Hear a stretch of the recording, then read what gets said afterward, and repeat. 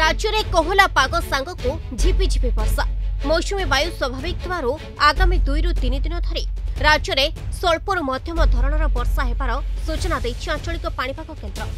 ଗତ ଚବିଶ ଘଣ୍ଟା ମଧ୍ୟରେ ଓଡ଼ିଶାର ପ୍ରାୟ ସବୁ ଜିଲ୍ଲାରେ ସ୍ୱଳ୍ପରୁ ମଧ୍ୟମ ଧରଣର ବର୍ଷା ହୋଇଛି ସର୍ବାଧିକ ବର୍ଷା ନବରଙ୍ଗପୁରର ତିତିଲି ଖୁଣ୍ଟିଠାରେ ଅଣଚାଶ ଦଶମିକ ନଅ ମିଲିମିଟର ବର୍ଷା ହୋଇଥିବା ବେଳେ ସୋନପୁରରେ ବୟାଳିଶ ଦଶମିକ ଦୁଇ ମିଲିମିଟର ପୁରୀ କାକଟପୁରରେ ତେତିଶ ମିଲିମିଟର ବର୍ଷା ହୋଇଛି ଜୁନ୍ ଏକରୁ ଜୁଲାଇ ଷୋହଳ ପର୍ଯ୍ୟନ୍ତ ସମ୍ପୂର୍ଣ୍ଣ ଓଡ଼ିଶାରେ ତିନିଶହ ବୟାନବେ ଦଶମିକ ନଅ ମିଲିମିଟର ବର୍ଷା ହୋଇଛି ଯାହା ସ୍ୱାଭାବିକ ବର୍ଷା ତୁଳନାରେ ତିନି ପ୍ରତିଶତ ଅଧିକ ରହିଛି ଏହାସହ ରାଜ୍ୟର କୋଡ଼ିଏଟି ଜିଲ୍ଲାରେ ସ୍ୱାଭାବିକ ବର୍ଷା ହୋଇଥିବା ବେଳେ ଚାରୋଟି ଜିଲ୍ଲାରେ ଅଧିକ ବର୍ଷା ହେବା ସହ छिल कम वर्षा होता सूचना मिले से सबू जिलागुड़िकला पुरी, कटक, बालेश्वर, खोर्धा, जाजपुर केन्द्रापड़ा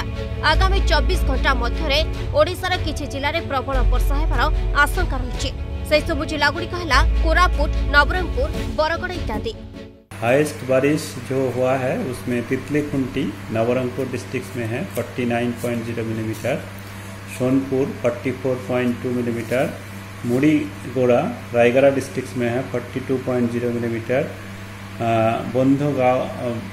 बंधगांव, बधगांव खरगवा डिस्ट्रिक्ट में है 34.0 मिलीमीटर काकतपुर, पुरी डिस्ट्रिक्ट में है 33.0 मिलीमीटर लाजीगढ़, कालाहांडी डिस्ट्रिक्ट में है 25.8 मिलीमीटर उलंडा, सोनपुर डिस्ट्रिक्ट में है 25.2 मिलीमीटर सिमलीगुड़ा कोरापुट डिस्ट्रिक्ट में 25.0 मिलीमीटर इस तरह से रेनफॉल हुआ है ଆଗାମୀ ଦୁଇ ଦିନ ପର୍ଯ୍ୟନ୍ତ ରାଜ୍ୟରେ ମଧ୍ୟମ ଧରଣର ବର୍ଷା ଏହା ସହ ଚଳିତ ବର୍ଷ ମୌସୁମୀ ସଠିକ୍ ସମୟରେ ଓଡ଼ିଶା ଛୁଇଁଥିବା ବେଳେ ଭଲ ବର୍ଷା ମଧ୍ୟ ହେଉଛି ବ୍ୟୁରୋ ରିପୋର୍ଟ ଦ ଅର୍ଗଷ୍ଟ